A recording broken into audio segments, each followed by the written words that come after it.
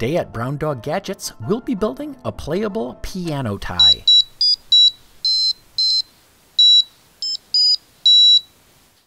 For this project, we'll need a novelty necktie, a Crazy Circuits invention board, a Crazy Circuits piezo speaker, quarter inch and eighth inch conductive maker tape, USB cable, 5 volt USB battery, and either needle and thread or mounting tape to attach components to the tie. First, we'll tie on the necktie. This lets us check for length and help decide which of the keys we want to use. Let's program the board. We'll plug in the USB cable and the other end into the computer. In the Arduino software, we'll open our sketch and upload it to the board. We can then temporarily connect the piezo speaker to pin 10 and ground, and then touch the inputs to test the sound. This way we know everything works right before assembling the project. We've decided to use these 8 keys, so we will center the board on those keys on the back of the tie, with pins 15 through 23 facing our keys. We'll eventually need to attach the board to the tie, this can be done with some simple stitching through the corners with needle and thread, or even just with mounting tape. We've oriented the USB port to face up the tie. That way we can use the tie loops as routing and strain relief for the USB cord. Let's stick the board down with some mounting tape.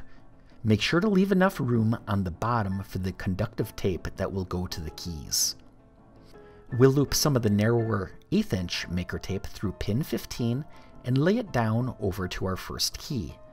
Then we'll flip the tie over and continue the piece of tape on the front and cut it to length. Over the top of that, we'll cut two pieces of the quarter inch wide maker tape. Both of those together should cover most of the key. We'll continue to run the tape leads from pins 15 through 23 to the keys.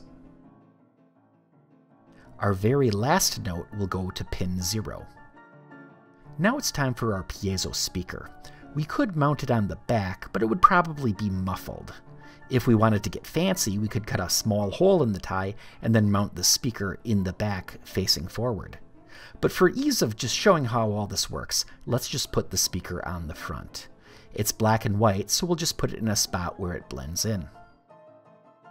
We'll lay down two pieces of conductive tape for the speaker, one from pin 10 and one from the ground connection.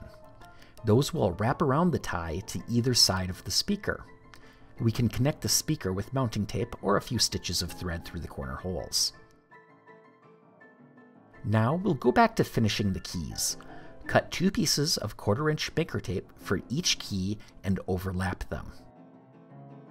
Repeat this for all the remaining keys. At this time, plug in a USB power source and test out the keys. You should be making music.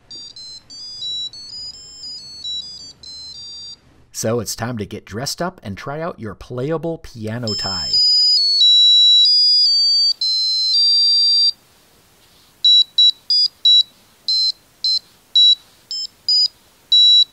Whether you love the big 80s, want to make the best ever Father's Day gift, or you just want to go to Funky Town, you gotta love the piano tie. We hope you love these projects. Please like, share, comment, and subscribe, and come check us out at browndoggadgets.com for even more electronic fun.